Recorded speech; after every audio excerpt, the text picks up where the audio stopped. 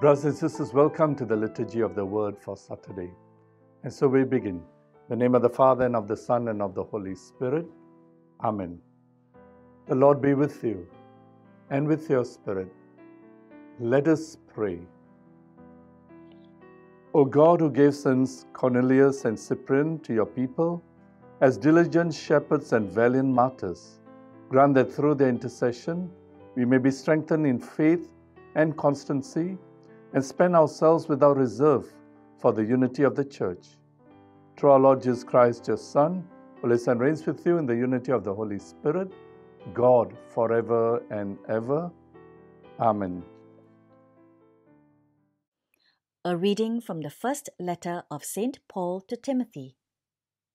Here is a saying that you can rely on, and nobody should doubt that Christ Jesus came into the world to save sinners I myself am the greatest of them. And if mercy has been shown to me, it is because Jesus Christ meant to make me the greatest evidence of his inexhaustible patience for all the other people who would later have to trust in him to come to eternal life. To the eternal King, the undying, invisible, and only God, be honor and glory forever and ever. Amen. The word of the Lord. May the name of the Lord be blessed forevermore. Praise, O servants of the Lord. Praise the name of the Lord. May the name of the Lord be blessed both now and forevermore. May the name of the Lord be blessed for evermore. From the rising of the sun to its setting, praised be the name of the Lord. High above all nations is the Lord, above the heavens his glory. May the name of the Lord be blessed for evermore. Who is like the Lord our God, who has risen on high to his throne, yet stoops from the heights to look down? To look down upon heaven and earth. From the dust he lifts up the lowly, from the dung heap he raises the poor. May the name of the Lord be blessed for evermore. Alleluia, Alleluia. I am the way, the truth, and the life, says the Lord. No one can come to the Father except through me. Alleluia. The Lord be with you and with your spirit. A reading from the Holy Gospel according to Luke. Glory to you, O Lord. Jesus said to his disciples, There's no sound tree that produces rotten fruit, nor again a rotten tree that produces sound fruit. For every tree can be told by its own fruit. People do not f- pick figs from thorns nor gather grapes from brambles. A good man draws what is good from the store of goodness in his heart. A bad man draws what is bad from the store of badness. For a man's words flow out from what fills his heart. Why do you call me Lord, Lord, and not do what I say? Everyone who comes to me and listens to my words and acts on them, I will show you what he is like. He is like the man who, when he built his house, dug and dug deep and laid the foundations on rock. When the river was in flood, it bore down on that house, but could not shake it. It was so well built. But the man who listens and does nothing is like the man who built his house on soil with no foundations. As soon as the river bore down on it, it collapsed. And what a ruin that house became. The Gospel of the Lord. Praise to you, Lord Jesus Christ. Today, the church celebrates the memorial of Saints Pope Cornelius, who was Bishop of Rome, and Bishop Cyprian, who was Bishop of Carthage during the period of schism and great persecutions in the third century. They were linked by one particular issue what to do with those apostatized Christians throughout the Roman Empire who lapsed in their faith in time of persecution and then wished to return. An influential Roman priest called Novatian maintained that these persons could not be forgiven and allowed back to the church, along with murderers, adulterers, and those in second marriages. However, St. Cornelius, backed by St. Cyprian and St.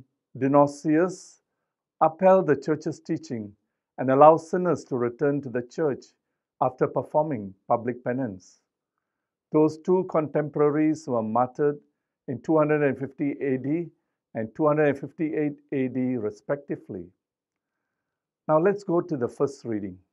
The word tells us Christ Jesus came into the world to save sinners, of whom I am the worst.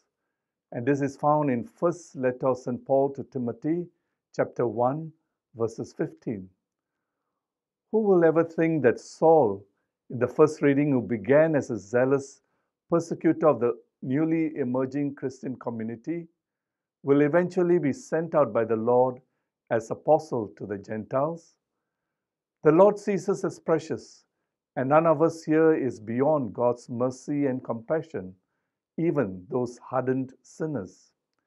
We see this extraordinary change in Paul's life, where he was able to let go of the past as a zealous murderer, to move forward with renewed hope and courage and preach the good news to all. Similarly, we too, as sinners, can draw strength from St. Paul to believe in this merciful and compassionate God who will not hold us ransom to our sins, but wants to liberate us so that we can move forward in our pilgrim journey. However, you and I have to return to the Lord and say that I'm sorry and I repent of my failings and wrongdoings. In 1946, Pope Pius XII spoke in a prophetic way. Perhaps the greatest sin in today's world is that both men and women have begun to lose the sense of sins. And so the question do you then sense that we in this modern age has lost the sense of sin? This is something critical that we need to keep in mind as disciples of Christ. We know that humanity is wounded and we often fail because of our weaknesses and choose evil as a consequence of original sin. Pope Francis said there are two types of people those who have lost a sense of sin and those who have lost a sense of God's mercy. Both attitudes are harmful because they stop us from encountering the healing grace of God's merciful forgiveness. The irony is that while God is always bending forward to embrace us as sinners, but we on our part tend to bend backwards and turn away from God's embrace. However, God never stops in his attempts to get our attention and always desire to draw us closer to his loving and merciful heart. Let us today turn like St. Paul to this merciful and compassionate Father in heaven, because there is no sin or failure that we can bring before our God that cannot become the opportunity for starting up to live a new and different life under the banner of God's mercy. Amen. And so we now pray this wonderful prayer that Jesus taught his disciples, the Our Father. Our Father, who art in heaven, hallowed be thy name. Thy kingdom come, thy will be done on earth as it is in heaven. Give us this day our daily bread, and forgive us our trespasses, as we forgive those who trespass against us. And lead us not into temptation, but deliver us from evil. Amen. Let us pray.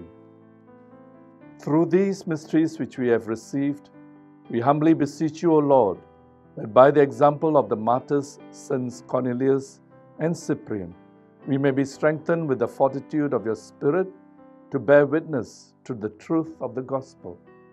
Through Christ our Lord. Amen. The Lord be with you and with your spirit. May Almighty God bless you the Father, the Son, and the Holy Spirit. Amen. Go in peace to proclaim the good news to all. Thanks be to God.